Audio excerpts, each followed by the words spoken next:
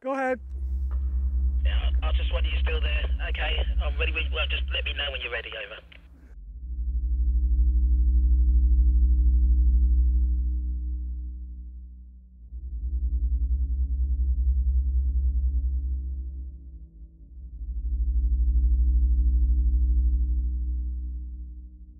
Shooting is it's a huge part of my life. It's been the only thing that I've really been sort of exceptionally uh, talented at.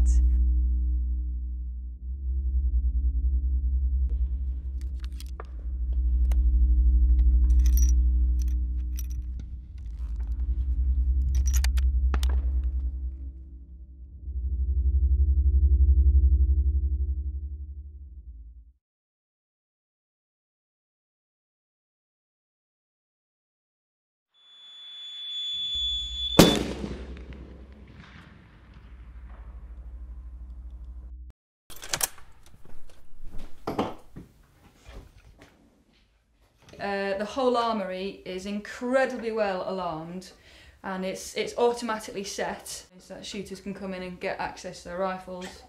So each person has their own locker, they're only they are allowed access to it. Uh, they only have their firearms in it and yeah, they can only come at certain times during the day. It is very secure in here, yes. There are uh, hundreds of thousands of people across the country who have firearms and compete in uh, target shooting sports and it is an incredibly difficult sport mentally. Uh, it's a thinking man's sport, very deliberate, um, very controlled and we do take it quite seriously. Um, and yeah, it's, it's a very accurate sport.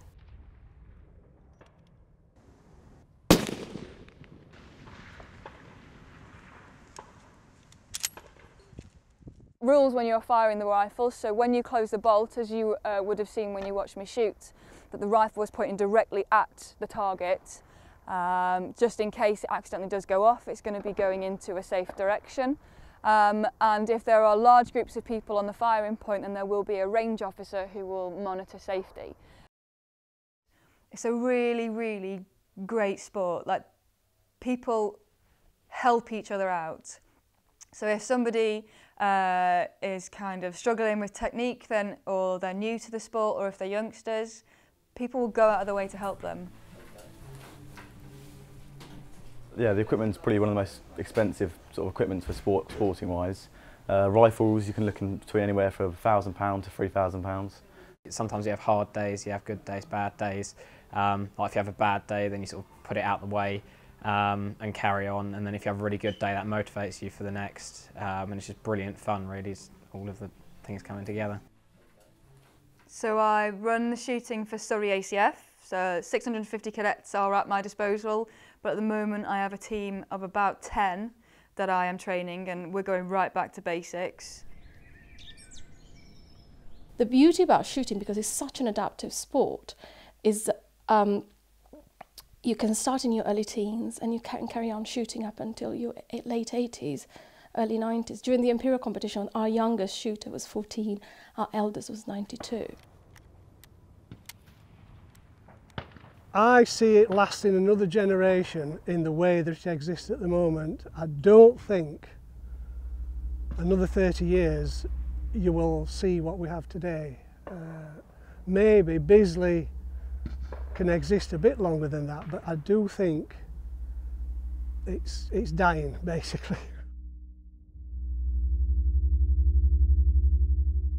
We are trying actively to improve media coverage and during the Commonwealth Games BBC really did not show that much shooting so the majority of the medals were won in shooting from British people. There was a huge media, media campaign that went on uh, over social media. So a friend of mine set up a web page uh, called the Barry Buddon Broadcasting Corporation. When it came to the Commonwealth Games, as an example, we didn't feel was being represented enough.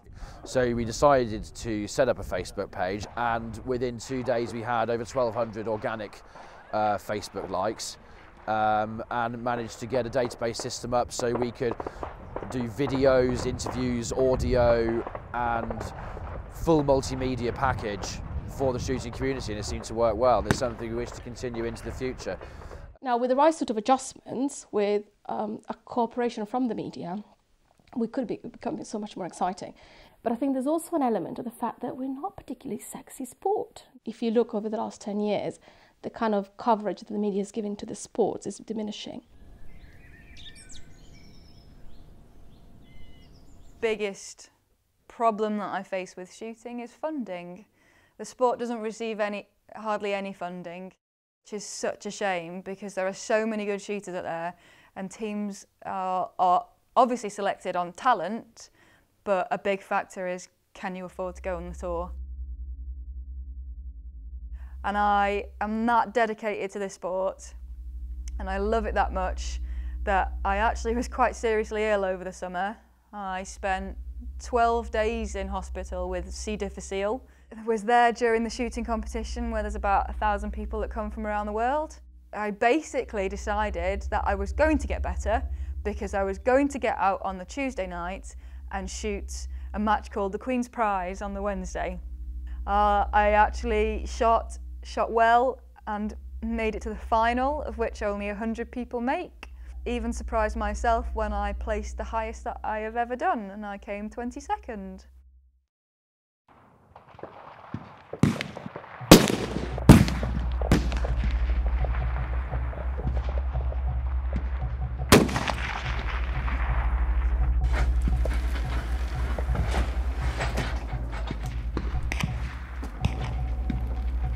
Uh, it doesn't get the coverage that it should do. It's, it's hard because it's not the best spectator sport. I think that's a um, view shared by a lot of shooters really. It, it could be a lot better. There's always been a stigma when it comes to shooting, we know that. But it's something that is very accessible. Uh, When it comes to target shooting, it really is. Our rifles are the same as a hockey stick or a golf club. It's the tool we use to do the job.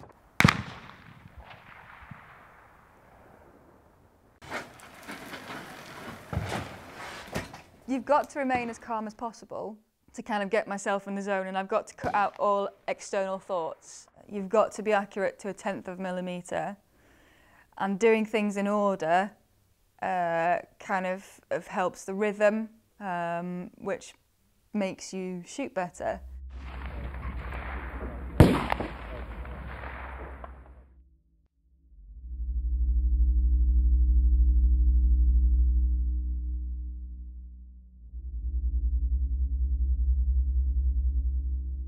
When I'm on the range, uh, it's just it's a great place to be, especially when it's sunny and warm. It's just yeah, it's, it's a great place to be.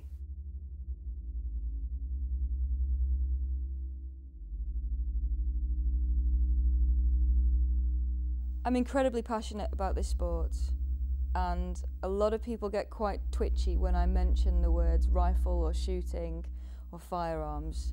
Whatever they believe from the media is not quite justified.